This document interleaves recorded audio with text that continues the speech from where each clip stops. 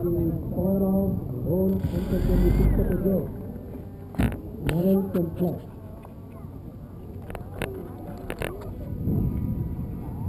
Thank